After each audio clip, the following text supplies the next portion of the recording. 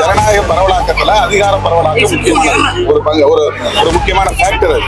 அதை வந்து எப்பவும் பேசலாம் எப்பவும் கேட்கலாம். அது ஒன்றும் தப்பு கிடையாது.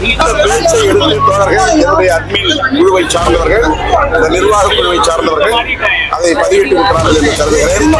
ஏன் அதை திரும்ப எடுத்தார்கள் என்று தெரியவில்லை. இன்னும் அவர்களை நான் தொடர்பு கொண்டு பேசுகிறேன். மது பிரச்சனைக்கு பிஜேபி உட்பட எல்லாரும் ஒன்று சேரணும். ஆனா எங்களுக்கு வந்து பிஜேபியோட சேர முடியாத ஒரு நெருடல் இருக்கு.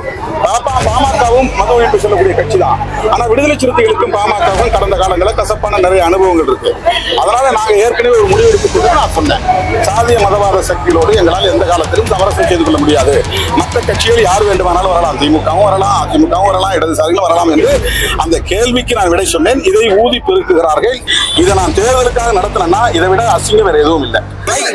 தேர்தல் அரசியல் அடியெடுத்து வைத்த காலத்திலிருந்து நாங்கள் முன்வைத்து வரக்கூடிய ஒரு கருத்து தான் அது பேசவில்லை ஆயிரத்தி தொள்ளாயிரத்தி தொண்ணூத்தி ஒன்பதில் விடுதலை சிறுத்தைகள் அவர்களோடு கைகோர்த்து தேர்தல் அரசியலை அடியெடுத்து வைத்த போது நாங்கள் வைத்த முழக்கம் கடைசி மனிதனுக்கும் ஜனநாயகம் எளிய மக்களுக்கும் அதிகாரம் எல்லா மேடைகளிலும் மூப்பனார் அவர்களே ஆட்சியிலும் பங்கு அதிகாரத்திலும் பங்கு என்ற முழக்கத்தை வைக்கிறார் அவரை நான் வரவேற்று பாராட்டுகிறேன் என்று தொண்ணூத்தி ஒன்பதிலேயே பேசியிருக்கிறார் அதை நினைவுபடுத்தி நேற்று நான் செங்கப்பட்டிலே பேசினேன் அந்த பேச்சை எடுத்து தோழர்கள் என்னுடைய அட்மின் குழுவை சார்ந்தவர்கள் இந்த நிர்வாக குழுவை சார்ந்தவர்கள் அதை பதிவிட்டு இருக்கிறார்கள் என்று கருதுகிறேன் ஏன் அதை திரும்ப எடுத்தார்கள் என்று தெரியவில்லை இன்னும் அவர்களை நான் தொடர்பு கொண்டு பேசுகிறேன்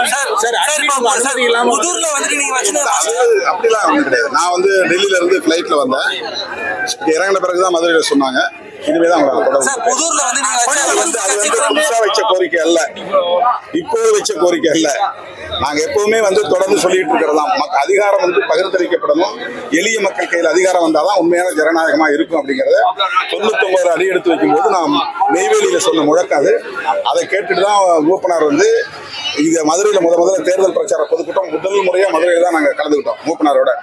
அப்போ மேடையிலே அவர் கேட்டார் திருமாவளவன் வந்து இந்த மாதிரி ஒரு முழக்கத்தை வச்சுக்கிறாரு ரொம்ப ஜனநாயகபூர்வமான ஒரு முழக்கம் அது. அதுல நான் முழுமையா உடன்படுறேன். நம்ம கட்சி ஆட்சி வந்தா அப்போது நாடாளுமன்ற தேர்தல் தான் இருந்தாலும் அவர் சொன்னார். அதிகாரத்தை பகிர்ந்தளிக்கணுங்கிற அவருடைய கோரிக்கை நான் வரவேற்கிறேன் அப்படின்னு அவர் பேசியிருக்கிறார். அதை நான் நேற்று செங்கல்பட்டு நடந்த கூட்டத்தில் மறைமலை நகரில் நடந்த கூட்டத்தில் நினைவுபடுத்தி அதை அதை மேற்கோள் காட்டி பேசினேன். அந்த உரை தான் போட்டிருக்காங்க ஏன் எடுத்தாங்க? அதனால ஒன்றும் தப்பு கிடையாது. எப்பவுமே இப்ப வந்து இப்ப என்ன ஜனநாயகத்துக்கு விரோதமான ஆட்சி நடந்துட்டு இருக்கு. அப்படி இல்ல ஜனநாயக ஜனநாயக பரவலாக்கத்துல அதிகார பரவலாக்கம் முக்கியமான ஒரு பங்கு ஒரு ஒரு முக்கியமான ஃபேக்டர் அது அதை வந்து எப்பவும் பேசலாம் எப்பவும் கேட்கலாம் அது ஒன்றும் தப்பு கிடையாது இல்ல இப்ப வந்து எலெக்ஷன் நேரம். நான் கேட்டிருந்தா ரெண்டாயிரத்தி இருபத்தி ஒண்ணு தேர்தலில் கேட்டிருக்கணும் அப்படி இல்லைன்னா ரெண்டாயிரத்தி இருபத்தி ஆறு தேர்தலில் தான் கேட்க முடியும் இப்ப அவங்க வந்து என்னுடைய உரையை எடுத்து போட்டு டைட்டில் போட்டுருக்காங்க அது என்ன காரணம்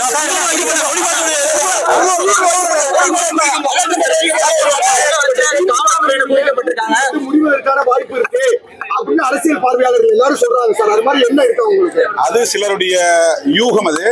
அந்த மாதிரி எந்த இடத்திலும் விடுதலை சிறுத்தைகள் பேசவில்லை. நாங்கள் மது ஒழிப்பு மற்றும் போதைப்பொருள் ஒழிப்பு மகளிர் மாநாட்டை அக்டோபர் இரண்டு அன்று நடத்துகிறோம். பத்திரிகையாளர் சந்திப்பிலே அவர்கள் கேட்டார்கள் நான் சொன்ன கருத்தையொட்டி என்ன சொன்னேன் என்றால் தமிழ்நாட்டில் இருக்கிற எல்லா கட்சிகளுமே மதுவிலக்கில் உடன்பாடுள்ள கட்சிகள் தான். திமுகவும் மதுவிலக்கை சொல்லுகிறது. அதிமுகவும் மதுவிலக்கை சொல்லுகிறது. இடதுசாரிகளும் மதுவிலக்கில் உடன்பாடு உள்ளவர்கள் விடுதலை சிறுத்தைகளும் மதுவிலக்கை சொல்லுகிறோம். அப்புறம் என்ன தயக்கம்? மதுக்கடைகளை மூடுவதற்கு என்ற கேள்வியை நான் எழுப்பினேன். அது வந்து பத்திரிகையாளர்கள் சிறமாரியாக பல கேள்விகளை கேட்டார்கள். அப்போது தன்னியல்பாக நான் சொன்னேன் யார் வேண்டுமானாலும் இதில் நாம் பங்கேற்கலாம். எல்லா கட்சியினருக்கும் தான் பொதுவாக நான் அறைகோல் விடுக்கிறேன். அதிமுகவும் கூட பங்கேற்கலாம். ஏன்னா அவங்களுக்கு உடன்பாடு இருக்கு என்றுதான் சொன்னேன். சொல்லும் போதே சொன்னேன் எலெக்ஷனுக்கு இதையும் முடிச்சு போடக்கூடாது. இது மக்களுடைய பிரச்சனை. இப்ப காவிரி நீர் பிரச்சனைக்கு எல்லாரும் ஒண்ணு சேரணும்னு நம்ம சொல்றோம். ஈழத்தமிழர் பிரச்சனையில எல்லாரும் ஒண்ணு சேரணும்னு சொல்றோம். அந்த மாதிரி மது ஒழிப்பு பிரச்சனைக்கு பிஜேபி உட்பட எல்லாரும் ஒண்ணு சேரணும். ஆனா எங்களுக்கு வந்து பிஜேபியோட சேர முடியாத ஒரு நெருடல் இருக்கு. பாமகவும் மது ஒழிப்பு சொல்லக்கூடிய கட்சி தான். ஆனா விடுதலை சிறுத்தைகளுக்கும் பாமகவுக்கும் கடந்த காலங்களில் கசப்பான நிறைய அனுபவங்கள் இருக்கு. அதனால நாங்க ஏற்கனவே ஒரு முடிவு எடுத்துட்டு நான் சொன்னேன். சாதிய மதவாத சக்திகளோடு எங்களால் எந்த காலத்திலும் சமரசம் செய்து கொள்ள முடியாது மற்ற கட்சிகள் யார் வேண்டுமானாலும் வரலாம் திமுகவும் வரலாம் அதிமுகவும் வரலாம் இடதுசாரிகளும் வரலாம் என்று அந்த கேள்விக்கு நான் விடை சொன்னேன் இதை ஊதி பெருக்குகிறார்கள் இப்போது நாங்கள் திராவிட முன்னேற்ற கழக தலைமையிலான கூட்டணியில் தான் இருக்கிறோம் தொடர்கிறோம் அதில் எந்த விதமான சிக்கலும் இல்லை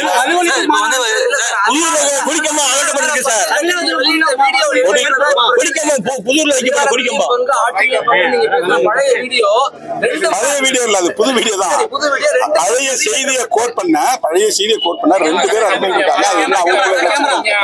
அதனால அந்த குழப்பம் ஏற்பட்டிருக்கு. மற்றபடி வேற மதுரையில வந்து இந்த- இந்த மதுரை மாவட்ட ஆட்சித்தலைவர் சங்கீதா அவர்கள் பொறுப்பேற்ற நாளில் இருந்து விடுதலை சிறுத்தைகள் எங்கே கொடியேற்றினாலும் அவர் தேவையில்லாமல் குறுக்கிறார் அடிக்கடி ஏதேனும் பிரச்சனை செய்து கொண்டே இருக்கிறார். உயர் நீதிமன்றத்தில் ஆணை பெற்ற பிறகும் திருமங்கலம் அருகே மேலப்பட்டி என்கிற இடத்துல விடுதலை சிறுத்தைகள் கொடியேற்ற அனுமதி தாருங்கள் என்று சொன்ன பிறகும் தர மறுக்கிறார். அதே போல ஊமச்சிக்குளம் பக்கத்திலே ஆலத்தூர் என்கிற இடத்தில் விடுதலை சிறுத்தைகள் கட்சி கொடியேற்றுவதற்கு அனுமதி தாருங்கள் என்று நீதிமன்றம் சொல்லியும் தர மறுக்கிறார். இப்போது புதூர் பக்கத்திலே ஏற்கனவே தொழிலாளர் விடுதலை மணி ஏற்றிய கொடி காவல்துறையினரால் அகற்றப்பட்டு விட்டது. சாலையை அகலப்படுத்துகிறோம் என்கிற பணியில். அப்போது யாரும் எதிர்ப்பு தெரிவிக்கவில்லை அதை விட்டுவிட்டார்கள். அவர்கள் தான் இப்போது சற்று உள்ளே தள்ளி ஒரு இருபது அடி உள்ளே தள்ளி கொடி கம்பத்தை நாட்டியிருக்கிறார்கள். ஏற்கனவே ஒரு கொடி இருக்கு ரெண்டாவது கொடி இருக்கு முதல்ல என்ன சொன்னாங்கன்னா நீங்க ஐம்பது அடி அறுபது அடி ஏத்துறீங்க அதனால முடியாதுன்னு சொன்னாங்க. இப்ப என்ன சொல்றாங்கன்னா அனுமதி இல்லாம ஏத்துறீங்கன்றாங்க. அடுத்து என்ன சொல்றாங்க கார்பரேஷன் மதுரை கார்பரேஷன் அனுமதி தந்தாதான் என்ஓசி தந்தாதான் ஏத்த முடியுன்றாங்க இது தனிப்பட்ட முறையில இந்த மாவட்ட ஆட்சித்தலைவர் விடுதலை சிறுத்தைகளுக்கு எதிராக தொடர்ந்து செயல்பட்டு வருவது தெரிகிறது இது அரசின் கவனத்திற்கு முக்கியமான மூத்த அமைச்சர்களின் கவனத்திற்கு கொண்டு சென்றிருக்கிறோம் அமைச்சர்கள் அனுமதியை அளிப்பார்கள் அல்லது உரிய அனுமதியை வழங்க வழங்கிய பிறகு நாங்கள் அந்த கொடியை பாஜக என்ன பாமக என்ன எல்லாரையும் ஒன்னா கூப்பிட வேண்டிய அவங்களோட அரசியல் பாஜக பாமகவோட சேர்ந்தா மறுபடியும் நாங்க கரெக்ட் ஆயிருவோம். அவங்க வந்து ஃபண்டமெண்டல் பாலிடிக்ஸே வந்து காஸ்ட் அண்ட் ரிலீஜன் தான். அதனால அவங்களோட சேர்ந்து எங்களுக்கு ஏற்கனவே பாமக சேர்ந்த ஒரு அனுபவம் இருக்கு. அந்த அனுபவத்தால நாங்க வந்து ஒரு ஒரு ஸ்டாண்டிங் ஆர்டர் மாதிரி அதை எடுத்துட்டோம். அந்த முடிவு நாங்க எடுத்துட்டோம். அதனால நாங்க நீங்க மனதார அவங்க தனியா. அவங்க தனியா வந்து பாமக மது ஒழிப்பு நடத்தினா அதை நாங்க வரவேற்காது. எங்களுக்கு ஒன்றும் பிரச்சனை இல்லை. நாங்க நடத்துற களத்துல எங்களால இணைய முடியல. அந்த அளவுக்கு எங்களுக்கு வந்து கசப்பான அனுபவத்தை அவங்க தான் கொடுத்தாங்க. நாங்க கை கோர்த்தோம். ஐந்து ஆண்டுகள் கை கோர்த்து பயணம் பண்ணோம். திடீர்னு எங்களுக்கு எதிராக திரும்பி அவதூறுகளை பரப்புனாங்க. அதனால நாங்க வந்து க- தீர ஆலோசித்து தான் கட்சியினுடைய உயர்நிலை குழுவோட முடிவெடுத்தது.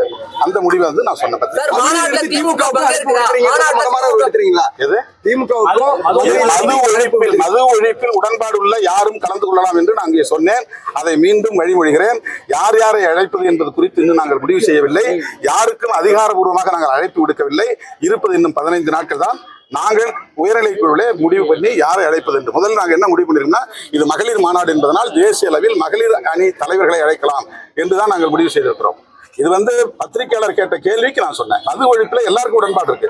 திமுக ரெண்டாயிரத்தி பதினாறு தேர்தல் அறிக்கையில மதுவை ஒழிப்பும் சொல்லியிருக்காங்க அதே மாதிரி அதிமுகவும் தேர்தல் அறிக்கையில மதுவை ஒழிக்கணும் மதுக்கடை மதுக்கடையில மூடணும்னு இருக்காங்க. அப்போ ரெண்டு கட்சியும் பெரிய கட்சி ஆண்ட கட்சி ஆளுங்கட்சி அதுக்கடுத்து எல்லா கட்சியிலுமே மது விலக்கில் உடன்பாடு உள்ளவர்களா இருக்கிறாங்க. பாதிக்கப்படுகிற பெண்கள் கண்ணீர் விடுகிற பெண்கள் விதவைகள் பிரச்சனையை பேசாம அந்த வழியை பற்றி பேசாம கூட்டணி கணக்குகளை பற்றி எல்லோரும் இதை திசை திருப்புகிறார்கள் மடைமாற்றம் செய்கிறார்கள். அது வந்து கண்ணீர் விட்டு கதரும் தாய்மார்களின் உணர்வுகளை வெளிப்படுத்துவதற்காகத்தான் இந்த மாநாட்டை நடத்துகிறோமே தவிர இதில் எந்த தேர்தல் கூட்டணி கணக்கே இல்லை. மறுபடியும் நான் சொல்லுகிறேன் தேர்தல் கூட்டணி கணக்கு இந்த அரசியலில் இல்லை. இதை நான் தேர்தலுக்காக நடத்தினேன்னா இதை விட அசிங்கம் வேற எதுவும் இல்லை. நான் நடத்துற இந்த மாநாடு தேர்தல் கூட்டணி கணக்கின் அடிப்படையில் நடத்தினா அது எனக்கு மிகப்பெரிய அசிங்கம். நான் அந்த அடிப்படையில் செய்யவில்லை. உள்ளபடியே கண்ணீர் விட்டு கதரும் தாய்மார்களின் உணர்வுகளை மதித்து அவர்களின் எதிர்பார்ப்பை நிறைவேற்றக்கூடிய வகையில் தான் இந்த மாநாட்டை நான் அறிவித்தேன். கள்ளக்குறிச்சி போயிட்டு வந்த பிறகு அந்த மக்கள் சொன்ன கோரிக்கை தான் நீங்க இந்த டாஸ்மாக் கடைகளை மூட சொல்ல மாட்டீங்களா? இதுக்கெல்லாம் போராட மாட்டீங்களான்னு என்ன நேருக்கு நேரா கேட்டாங்க. கிட்டத்தட்ட பத்துக்கு மேற்பட்ட தாய்மார்கள் கேட்டாங்க. உடனே நான் போராட்டம் அறிவிச்சேன். அந்த போராட்டத்துல இந்த மாநாடு அறிவிச்சேன். செப்டம்பர் பதினேழு பெரியார் பிறந்த நாளில் நடத்த முடியாமல் போச்சு. அறிவித்த நாளில். அதனால காந்தியடிகளும் அதுக்கு பொருத்தமானவர் தான் மதுவிலக்கு கொள்கிற தீவிரமா இருந்தவர். அவருடைய பிறந்த நாளில் இந்த மாநாட்டு நடத்துறோம்.